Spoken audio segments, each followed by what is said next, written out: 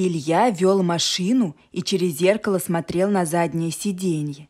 На нем мирно посапывала его пятилетняя дочь Лена. Жена Катя сидела рядом. Дальняя дорога ее вымотала, и она мирно спала, повернув голову к окну. Наконец-то она замолчала. «Я хоть расслабиться смогу», – подумал рыжеволосый молодой мужчина и ухмыльнулся. С тех пор, как он остался без работы, Катя не давала ему свободно дышать. Подобно острой и назойливой пиле, она пилила мужа, чтобы тот быстрее искал новую работу.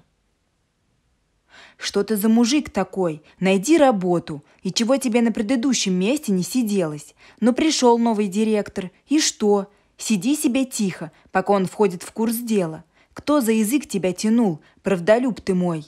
Никому правда твоя не нужна, особенно начальству. Кто ж теперь тебя умным назовет?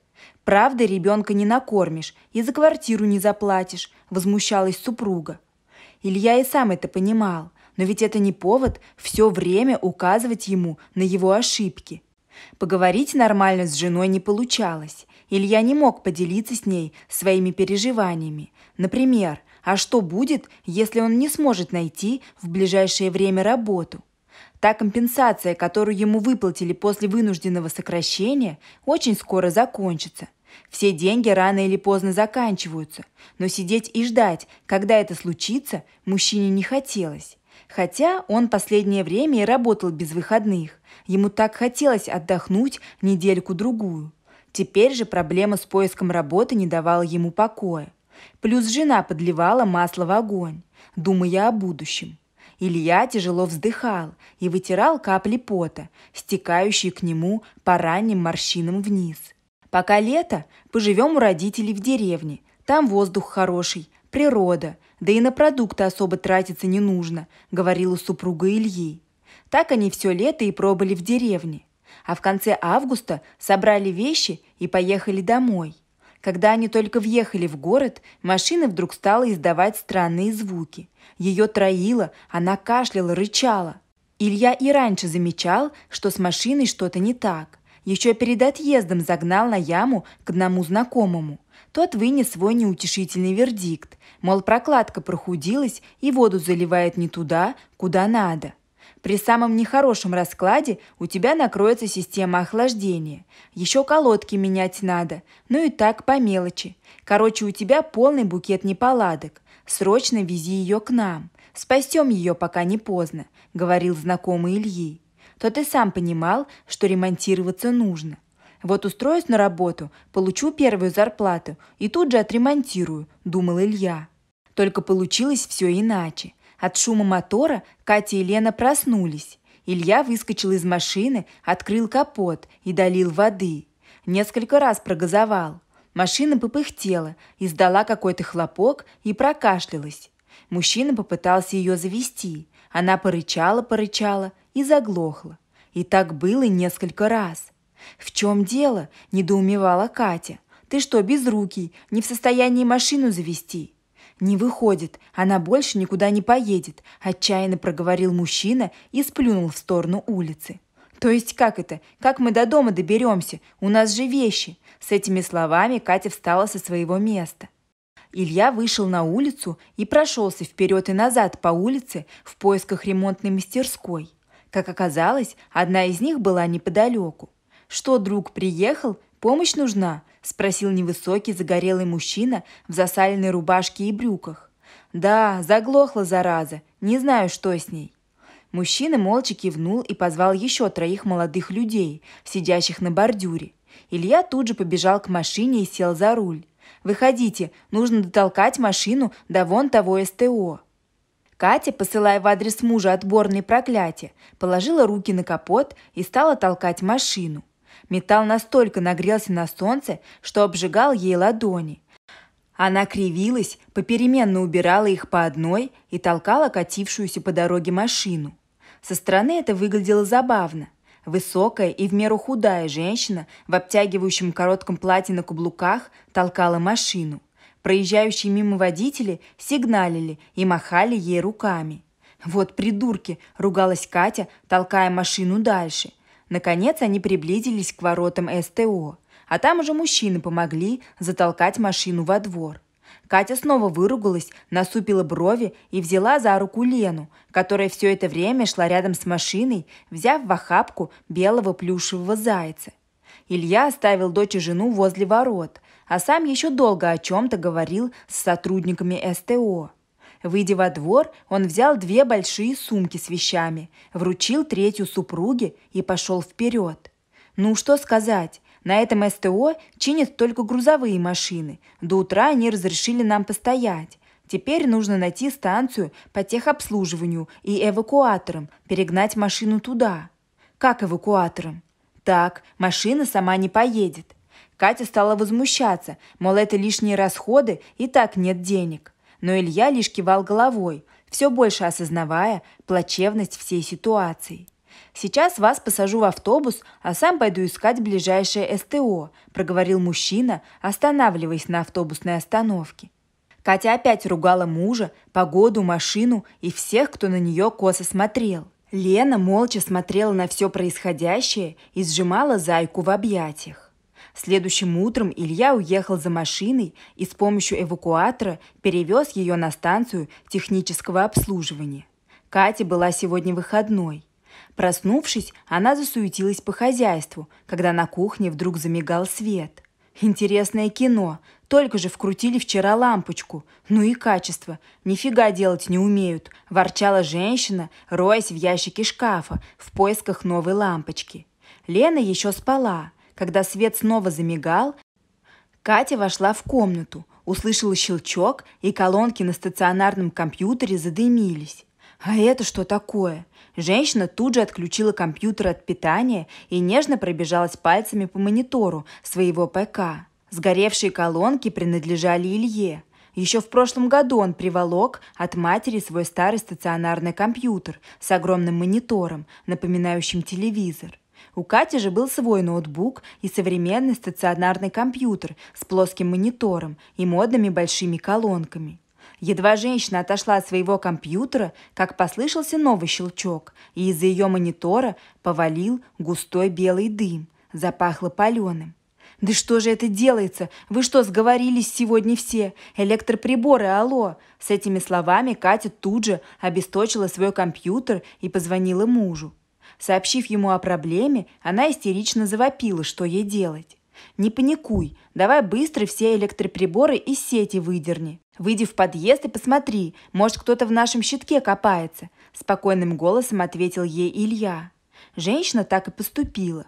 Она обесточила все, кроме стиральной машинки и двух кондиционеров. Те были встроены в стену, и отключить их было не так-то просто. Надев халат и тапочки, Катя выглянула в подъезд.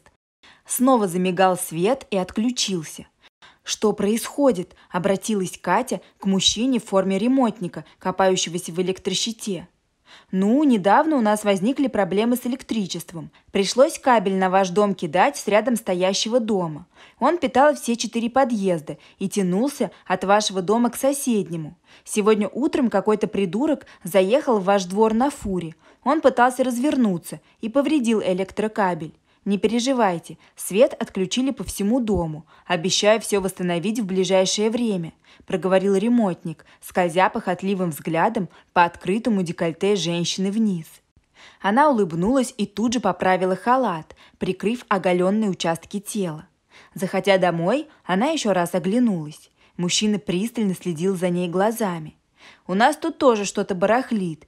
Все электроприборы с ума сошли. Если вы рано освободитесь, можете заглянуть и посмотреть своим профессиональным взглядом», – спросила она, кокетливо высовывая оголившуюся ногу из-за дверей.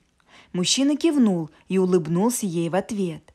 Катя зашла в дом и тут же позвонила мужу. Она рассказала ему о случившемся и о том, что у них на данный момент нет света. «Хорошо, я еще где-то на пару часов застряну тут, а ты скажи мне, когда свет дадут. Возьму прибор и проверю всю электрику в доме. Может, что-то сгорело?» Катя окончила звонок и заглянула в комнату дочери. Малышка еще крепко спала, во сне сжимая своей рукой любимую игрушку. Женщина улыбнулась, вошла в ванную и стала приводить себя в порядок. Через 20 минут свет подключили, и тут же в ее двери кто-то позвонил. На пороге показался симпатичный мужчина-ремонтник. «Просила зайти. Показывай, что случилось», – проговорил он, перешагивая порог дома. «Ой, ну, начни с монитора. По-моему, он сгорел», – сказала женщина, томно хлопая ресницами. «Проходи, я все покажу». Мужчину звали Валерой. Он прошел в комнату, достал приборы и уже приготовился проверять компьютер, когда к нему подошла Катя и взяла его за руку. «Ой, ну что ты как ребенок, и в самом деле будешь проверять электрику? Иди сюда, дурачок, кое-что тебе покажу». С этими словами женщина повела ремонтника в ванную комнату. Послышался скрип дверного шпингалета. Катя поправила руками свои волосы и сняла халат. Когда все закончилось, она выкупалась в душе, накинула халат и оставила ремонтника курить на кухне. «Ну ты даешь, все такая же», — сказал он, похлопывая ее по оголившемуся бедру. Валера и Катя были давно знакомы. Он был из отряда ее бывших. Она с ним крутила шашни еще на последнем курсе института. Его отец обладал неплохими связями, что и помогло Кате удачно сдать все экзамены и получить долгожданный диплом. «Хороший мальчик, но женат», – рассказывала она о нем своим подругам. У Валеры на тот момент была жена и двухлетний сын. По его словам, у них с ней все не ладилось. Он мечтал о страсти, а его жена всегда отказывала ему в интимной близости, ссылаясь на головную боль и прочие дела – да и не любил он ее вовсе. Залетела по глупости, а отец настоял, чтобы я женился на ней. Может, это и не мой ребенок, мало ли с кем она была до меня. Еще тогда говорил он, а позже жаловался на ее холодность. Я забыл, когда мы с ней были в последний раз в кровати. Это бывает так редко, что я скоро выть от голода буду. Не переживай, вот наберусь смелости и брошу ее. И тогда у нас с тобой все будет хорошо», — говорил он Кате. Они еще пару раз встретились с Валерой, но вскоре их тайные встречи прекратились. Закончилось все тогда, когда его супруга решила постирать его штаны и нашла в кармане упаковку от презервативов. Как он тогда извинялся и просил у жены прощения. «А как же женился по залету и не люблю ее?» – спрашивала тогда она его, когда он просил сделать паузу в их отношениях. Поняв, что мужчина не стоит ее внимания, она не стала дожидаться окончания их вынужденного тайм-аута и первой с ним порвала. Она заблокировала его номер и все аккаунты в соцсетях. Перестала реагировать на сигналы машины, когда он проезжал мимо офиса, где она работала. И очень скоро он от нее отстал. «А что я могу сделать? Она не хочет меня больше видеть», – жаловался он своему другу.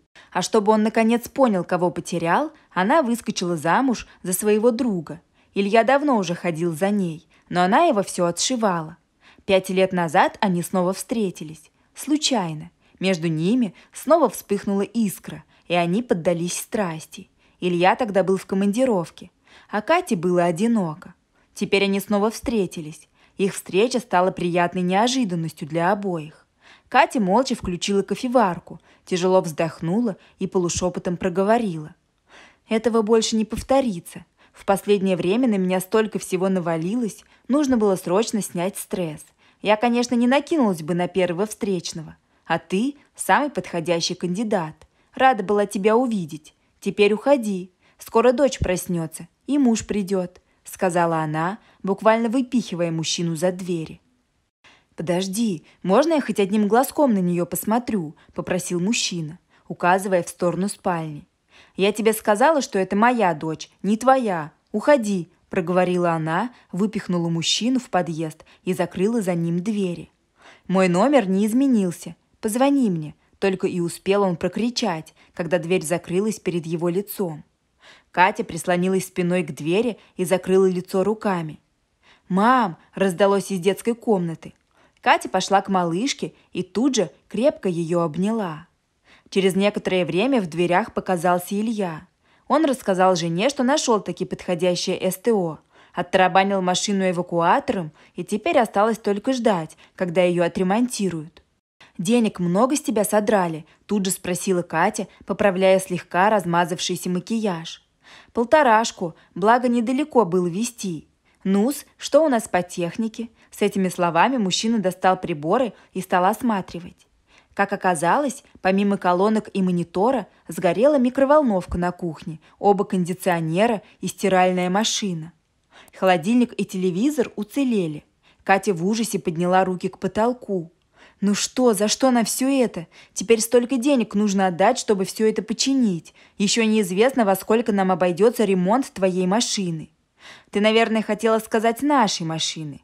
Дорогая, ты тоже на ней ездишь, поправил ее Илья, улыбаясь. На одном СТО мне озвучили цену в 30 тысяч рублей. И это только работа без покупки деталей. На другом попросили в половину меньше.